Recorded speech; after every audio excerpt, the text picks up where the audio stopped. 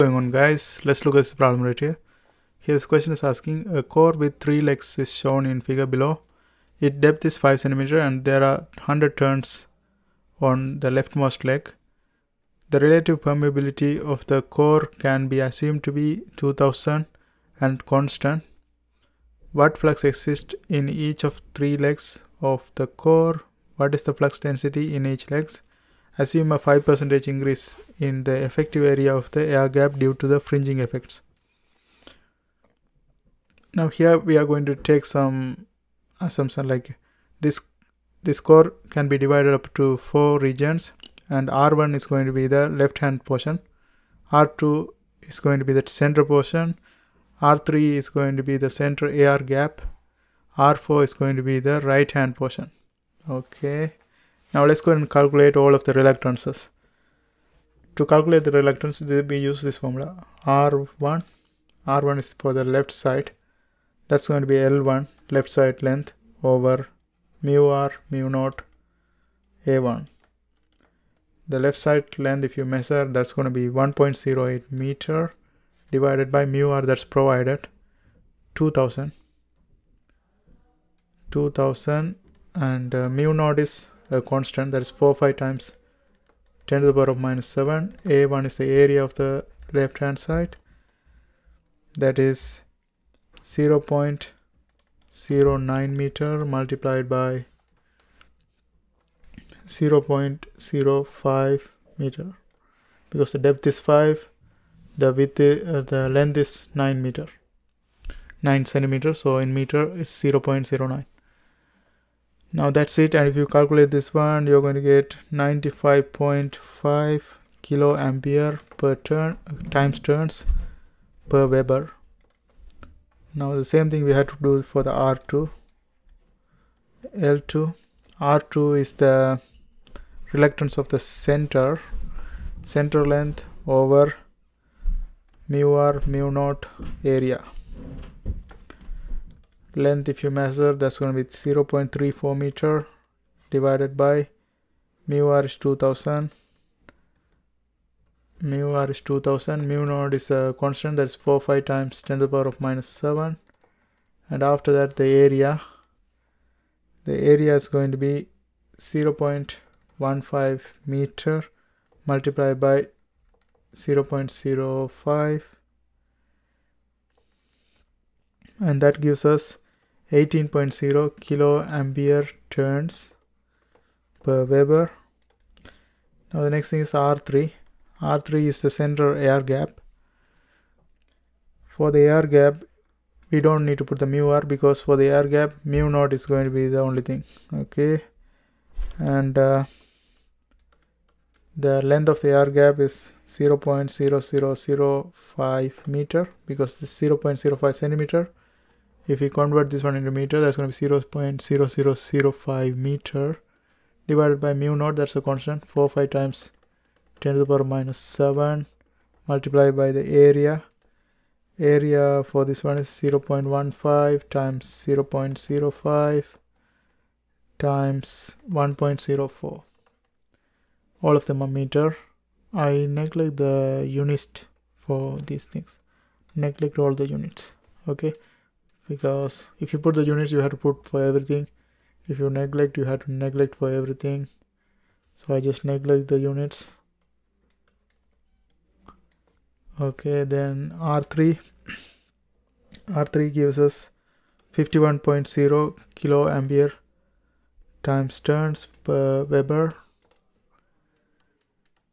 Then R4 R4 is the right hand side L4 divided by mu R times mu naught times a4 the length of the right hand side is 1.08 meter divided by mu r that's 2000 mu naught is a constant that's 4 pi times 10 to the power of minus 7 and a4 is the area of the right hand side that is 0.09 multiplied by 0.05 meter. And that is same as the left hand side that's 95.5 kilo ampere times turns per Weber. Okay here the question is asking for the flux and flux density. Now here we have to calculate the total reluctance to do that. To calculate the total reluctance this is the formula. R total since the turns toward the left hand side. That's the one we are going to have first. That's r1 reluctance 1 plus r2 plus r3 times r4 or you can write it as r2 r4 plus r3 r4 divided by r2 plus r3 plus r4 and uh, these are the values. Let's go ahead and plug them r1 is 95.5 plus r2 is 18 plus r3 is 51 times 95.5 divided by 18 plus 51 plus 95 and that gives us 135.5 kiloampere times turns per Weber. Okay, this is our total. Now let's get rid of this. Now we have calculated the R total. From this one we can calculate the flux. To calculate the flux, this is the formula. Phi left left is going to be the total because the turns are in the left side so whatever the phi total is going to be from the left side phi total is equal to magnetomotive force divided by r total. Now magnetomotive force is basically turns time the current. Turns are given that's 100 turns. And the current going through this is current is okay let's see whether it's given right here three legs on the in the depth 100 turns left most leg the relative permeability of the current 2000 constant.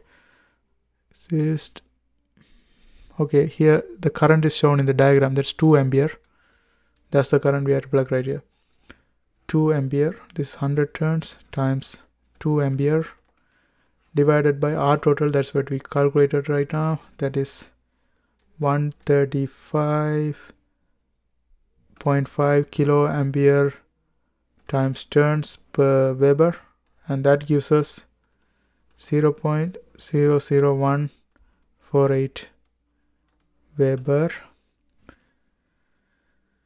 Then uh, here what flux exists in the three legs of the core? We found out for the left. Let's calculate for the center. We are, we are going to see what is in the left center and the right to calculate for center center is going to be on top. Center is uh, actually yeah. To calculate the center r4 is going to be on top. R4 and r2 plus r3 plus r4 now this one gives us R4 is 95.5 divided by 18 plus 51 plus 95.5 again. That gives us and the whole thing multiplied by phi total that is 0 0.00148 Weber. And that gives us 0 0.00086 Weber. And this is the flux at the center now the next thing is we are going to calculate the flux at the right. Right is going to be equivalent to R2 plus R3. R3 divided by R2 plus R3 plus R4 multiplied by phi total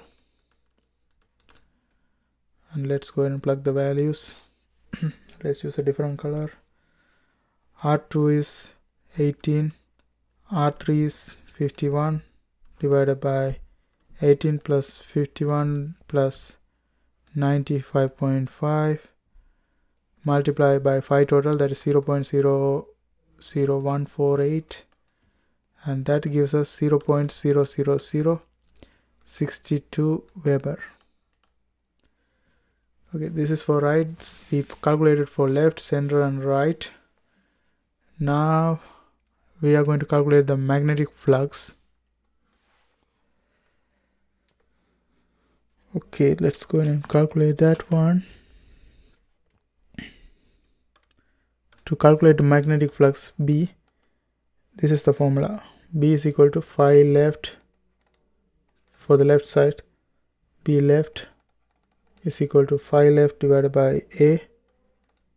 Phi left is 0 0.00148 Weber divided by the area that's 0.09 meter times 0.05 meter and that gives us 0.329 Tesla.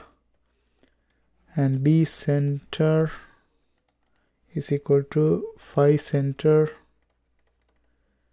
divided by A. Phi center is 0 0.00086 Weber divided by 0.15 times 0.05 and that gives us 0.115 Tesla. And B right is equal to phi right divided by A. Phi right we calculated that is 0.00062 divided by the area 0.09 times 0.05 and that gives us 0.138 Tesla. And that's how we do that. I hope you guys find this video helpful. Thanks for watching. And if you're trying to learn electromechanical system there are a bunch of videos in my playlist. I hope you guys watch that too. Don't forget to subscribe. See you next time